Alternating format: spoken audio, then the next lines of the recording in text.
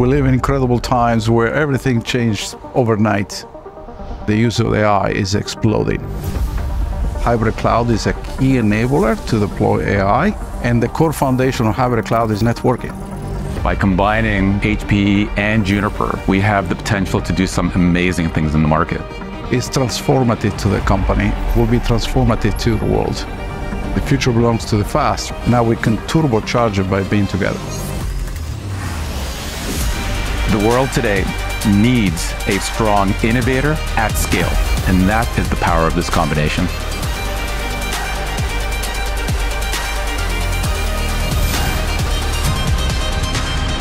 The opportunity we have in front of us is enormous. To truly shake things up and innovate in ways that our customers and our partners have never seen, and the time is now.